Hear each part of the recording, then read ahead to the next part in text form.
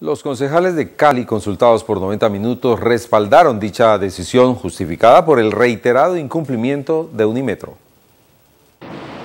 El alcalde Maurice Armitage aseguró que con esa decisión se busca mejorar la prestación del servicio a los caleños. Se tomó esa decisión, yo espero que terminemos todos contentos, que Metro Cali también reaccione, eh, Unimetro, perdón, y que los trabajadores no se van a perjudicar, tengan la plena certeza de que los trabajadores de Unimetro alguna solución les vamos a dar. Entre tanto, los concejales precisaron que les preocupa que los 168 buses que todavía pertenecen a Unimetro sigan sin salir a las calles de Cali cuando se termine el contrato. Preocupado también por la situación jurídica porque esto era algo que se veía venir.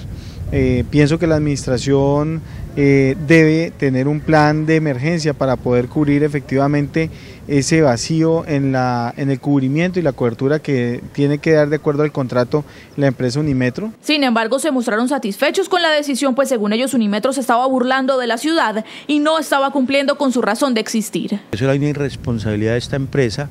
El problema laboral no es de los caleños, es de la empresa pero los perjudicados son el millón de caleños diarios que necesitan transportarse diariamente.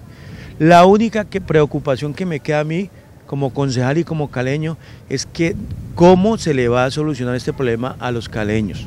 Entre las propuestas de los concejales se encuentra la integración de los buses urbanos que todavía están prestando el servicio a los usuarios en las calles.